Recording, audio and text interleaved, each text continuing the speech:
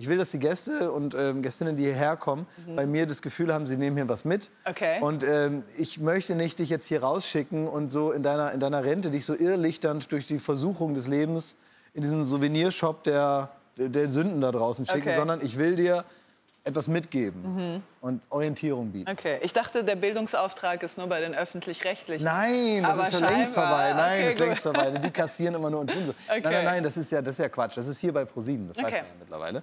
Und deswegen machen wir gleich Berufsberatung, wenn es okay, Oh, ist. Ja? Ne, dass du jetzt also nicht in die Bredouille kommst und irgendwann da stehst im kurzen Hemd. Aber jetzt bin ich schon falsch angezogen, oder? Ich Für die Berufsberatung? eher- müsste ich nicht so ein. Nee, wieso? Du nimmst das ernst. Okay, gut. Nein, also ich finde das schon gut. Besser als im Jogger. Okay. Ja, finde ich schon ganz gut. Also so. Und das sind jetzt einfach so klassische Fragen. Ich fragte die jetzt und dann gucken wir mal, was dabei rauskommt. Also, Berufsberatung für Andrea Petkovic. Welche Gehaltsvorstellung haben Sie? Ähm, Erstmal wichtig. 200 bis 400.000 Euro. 200 bis 400.000 am Tag. Okay.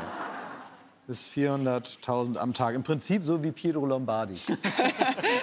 Habe ich jetzt gehört. Wirklich? Ja, Pietro Nein. Lombardi, doch, der hat jetzt gesagt, äh, in, in guten Monaten ist es eine Million. Hat er so rausgehauen. Was? In guten Monaten Pietro Lombardi, Signorita, Signorita.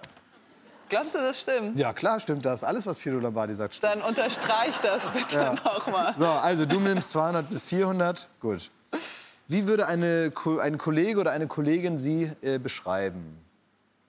Oh. Nimmt medizinische Auszeiten aus, äh, aus taktischen Gründen Mhm. und ähm, kein guter Teamplayer. Kein guter Teamplayer. Ja. Das muss man einfach so sagen. Ja. Ja, also du, es gibt ja auch Jobs, die man alleine machen kann, Busfahrer oder so. Ja, genau. Aber da habe ich ja andere Leute in meinem Bus. Ja, da Vielleicht kann ich die irgendwo. Leerfahrten machen. Du kannst die Leerfahren, du kannst Ja. sie zurück zum Für Betriebshof fahren. 200.000 Euro am Tag. Wenn die kaputt sind, kannst du irgendwann, du kannst Ja. Lime-Juicer werden. Ja. Du kannst diese Elektroroller aufladen. Da ist man sehr alleine. Das stimmt. Die sehe ich immer aus dem Fenster. Ich habe ja immer, noch Muckis. Ja. Das heißt, ich kann die hieven Total. und aufladen. Und Du solltest auf jeden Fall was Körperliches im Straßenbau machen. Ja, das denke ich. genau, das finde ich auch. Einmal man sagt, guck mal, was kann die noch? Ja, die kann Sachen hochheben. Ja? Aber jetzt Das nimmt kann nicht das Ergebnis vorweg. Nein, das sind, Okay. nein, halt, stopp. Okay. Da kommt ja was raus. Das sind ja Originalfragen, die habe ich mir nicht ausgedacht. Ah, das sind echt? richtige Okay. Originalfragen Ah, aus der Berufsberatung. Welche Eigenschaft können Sie bei ArbeitskollegInnen nicht tolerieren? die Existenz. Ah ja, okay. Existenz. Wissen das die Kollegen beim Sportstudio? Jetzt, wär, jetzt ja. Das ist ja, da ist man ja ja. beim ZDF darauf vorbereitet, dass da jemand kommt und irgendwann mal Schluss ist. Ne? So, äh, für wie zuverlässig würden Sie sich einschätzen? Sehr zuverlässig. Ja. ja, das bin ich. Ich bin sehr diszipliniert und Ja, sehr zuverlässig. sehr. Solange keine anderen Menschen involviert. Ja, okay, das ist gut. Arbeiten Sie gerne im Freien? Ja. Ja, okay. Äh, ich würde dann vielleicht bei den Gehaltsvorstellungen auch noch, dass immer so eine Tube Sonnencreme, 50 Schutz bitte, Ja, okay. daneben steht. Hm, Okay, das mache ich. Ja. Ach so, damit du nicht so eine... Ja. Eitelkeit und so. Eitelkeit, damit du auch nicht so eine Bauarbeiter, das Ja, musst du mit genau. dem T-Shirt immer gucken. Das sieht Ja. blöd aus, wenn man dann einmal im Jahr im Urlaub Ja. ist und dann sieht man aus wie ein Idiot. Ne? Ja. So, ähm, wie überzeugend können Sie Ihre Meinung gegenüber anderen vertreten? Darf man Gewalt anwenden? Ja, also ja, kommt drauf an, was für Jobs werden soll. Ne? Also bei Busfahrer würde ich sagen, ja. ja. Aber nach 19 Uhr dürfen die ja sowieso nur hinten einsteigen. Vielleicht machst du einfach die Jetzt, Nachtschicht. nach heute stellt mich sowieso niemand mehr ein. Also Ich gebe das mal in ich unseren Computer. Ich habe hier den Computer. So. Und dann kommt da sofort das Ergebnis praktisch aus dem Computer raus. Boah. Ah ja, da habe ich schon. Gut, das ist Okay. jetzt die Auswertung. Du wirst hier Tankwart. Das ist dabei rausgekommen. Tankwart, das ist ein guter Job. Da kenne ich auch Leute. Ich kenne hier einen bei der Aral, der ist super. Okay. Und da würde ich dich einfach hinvermitteln, wenn du Okay, möchtest. gerne. Ja, Ist das okay? Dank. Das ist super, danke schön. Gut. Freust du dich darüber? Ich freue mich total. Ich, Ja. ich mag es zu arbeiten. Ja. Mhm. Ich arbeite gerne hart. Tankstelle, super. Guter Genau. Geruch. Super Umweltfreundlich. Umweltfreundlich. Das ist die Umweltfreundlich. Zukunft. Du musst dich aber auskennen mit schinken Käse-Croissants, ne? Mittlerweile. Es ist nicht nur die Frontscheibe wischen, sondern man muss auch sagen, hier ist der Jogo-Jogo-Drink, Ja. hier ist eine Beefy Roll und so weiter. Möchten Sie einen Kaffee? Möchten Sie noch einen Kaffee dazu? Wird man immer jetzt gefragt an der Tankstelle. Möchten Sie auch noch einen Kaffee? Moment, ich habe getankt. Warum soll ich noch einen Kaffee zum Tanken? Das ist ja Quatsch. Ähm, Andrea, wir haben gerade das schon mal so ein bisschen angesprochen. Ich möchte wirklich, ähm, so ähnlich wie ich das hier gemacht habe, auch hier ähm, ja, dir zur Seite stehen bei dem, was jetzt auf dich zukommt. Also was jetzt auf jeden Fall passieren würde, das ist kein Witz. Okay. Die Leute wissen jetzt, du hast jetzt Zeit.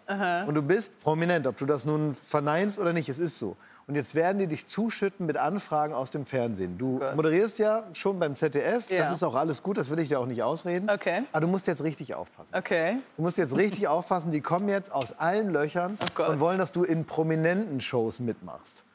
Du, also jetzt, davon rede ich gar nicht von tollen Sachen wie Guido Maria Kretschmer mit Promi Shopping Queen oder das perfekte Promi-Dinner. Das sind fast noch die Premium-Produkte. Ja? Okay, okay. Sondern jetzt kommen die mit Let's Dance. Oh Dann sollst du da mit Massimo Sinato da irgendeine Solo aufs Parkett legen. Ja? äh, und so. Dann kommen die von RTL 2. Die machen jetzt nämlich so eine, so eine Inline-Skate-Show. Das ist Let's Dance mit Rollen. Ja? Okay. Mhm. Es ist genau dasselbe, nur nennen die das anders. Ne? Heißt Skate Fever. Du musst jetzt aufpassen wie ein Schießhund. Du musst das alles absagen. Okay. Ja. Bitte Oder- versprichst du mir das? Ich verspreche dir das, äh, aber was passiert denn, wenn ich das nicht mache? Ja, dann wirst du halt ein Schrottpromi und das war's dann. Dann dauert es noch zwei Jahre, dann hast du acht Autohäuser und auf Wiedersehen, ne? Äh, okay. Ja. Wir wissen, wo die Reise hingeht. Dann, Ja, äh, dann hast du immer so Sorge. Fliegenklatschen hier oben dran. Ja, keine Sorge, sowas mache ich nicht. Nein. Also kann ich mir nicht vorstellen. Ja. Da muss das Geld schon wirklich sehr. Aber mit, den, mit dem Tankstellenjob Ja, komme ich ja über die Runden. Du musst mir einfach versprechen, dass du da nicht reingerätst in diese Kreise jetzt. Okay, hoch Ja? Okay, sehr Ja. gut, Dankeschön. Ja, wir haben so viele Menschen daran verloren. Und äh, nur bei einer Sache, wir, ähm, eine Sache, da wärst du ein bisschen hellhörig, finde ich, wenn wir Okay. jetzt anfangen, weil du hast ja gesagt, du bist stark. Es gibt eine Sendung, die heißt Duell um die Welt. Ja? Und da wäre es schon gut, wenn du zusagst. Ja? So. Also, das, wir fragen noch mal. Aber Ich habe nur eine Frage. das ist cool.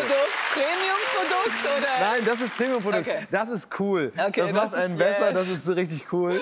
So, und ähm, das ist gar nicht dieser Schrott, was ich Nein, gesagt nein, habe. Ne, Das ist so cool, das Das ist richtig cool. Das muss man machen und da finden einen auch alle anderen cool und so. Ich habe das Okay. schon mal ein bisschen vorbereitet, weil es gibt verschiedene Sachen, die man da so machen kann. Da müssen ja Okay. Prominente praktisch für Joko und mich ähm, Sachen erledigen. Ja. Und damit du dir das besser vorstellen kannst, wohin es dich vielleicht bringt, ja, Okay. habe ich schon mal verschiedene Kategorien, da dass du schon mal sich so, also wärst du dieser Typ zum Beispiel hier, ähm, das hat Charlotte Roach mal vorgemacht, Haken im Rücken und dann Bungee. Ah, hör mal auf. Wäre das nein. Äh, was? Nee? Haken in den Rücken. Ja, äh, genau. Warum muss das? Kann man nicht einfach Bungee-Jumping machen? Nee, sondern das ist ja beim Duell um die Welt. Das haben wir alles schon gemacht. Okay. Und, äh, also, also, es geht nur, es muss nur gesteigert werden. genau, und im Prinzip hatten wir das ja jetzt auch schon. Das wäre jetzt praktisch nur die Grundlage. Da Okay. muss man überlegen, was Weil- genau wie man es noch steigern Ja, kann. genau. Okay, Vielleicht nur noch einhaken. Oder, Ja. oder an den Ohrringen oder so. ja, genau, genau. So, also das wäre jetzt An die den eine. Ohren so, ja. Oder irgendwas, was, was, was kurios ist in, im Ja. Bereich kurios. Da habe ich gute Kontakte zu jemandem aus Japan. Okay. Ähm, was hältst du von der Idee? Das ist Kochsalzlösung, die kann man da einfach reinpumpen und dann drückt man so rein, hat man so einen Donut in der Stirn. Das ist witzig und Also ich kenne ein paar Prominente, die sehen momentan so aus. ja. Von daher, wenn man das nur ein bisschen danach so runterpushen kann, dann habe ich vielleicht ein schönes Lifting in meinem Ja. Gesicht. Das stimmt, ja. Stimmt, ein paar sehen so aus. Ja, Axel Schulz damals, als er gegen François Botha verloren hat. Okay, ja. Dann gibt's noch das hier, das hat im. Original hat das Joko gemacht. Ich weiß nicht, ob dir das so liegt, den Mund zunehmen. Oh, das ist super. Da zahlt meine Familie persönlich für. da Okay. ihr, das könnt ihr sparen. Das Geld könnt ihr euch sparen. Das zahlt meine Das Familie. machen die selber. Ja, ja. Okay, dann das jetzt einfach Die filmt und uns schickt. GoFundMe-Page und zahlen das. Kickstarter. Sehr Genau. gut. So, dann haben wir noch das hier, oben auf so einer Gondel sein, O Sole Mio singen auf so einer Schrottgondel Das in China. mach ich, ja. Machst du auch? Ja, Sehr gut, auf jeden wunderbar. Ah, dann machen wir direkt ein paar Sachen, dann haben wir das für die nächsten Ja. Jahre. Dann bist es auch los, ja? Oh Gott. So, und dann noch hier an so Ballons hängen und die selber runterschießen. Das mache ich auch. Das machst du auch. Also alle so Sachen, wo man nach oben fliegen kann und möglichst nie wieder zurückkommt, Mhm. Ja. da bin ich dabei. Sehr gut. So viele grüne Haken hatten wir in so kurzer Zeit selten bei Vorschlägen fürs Duell um die Welt. Wir freuen uns. So.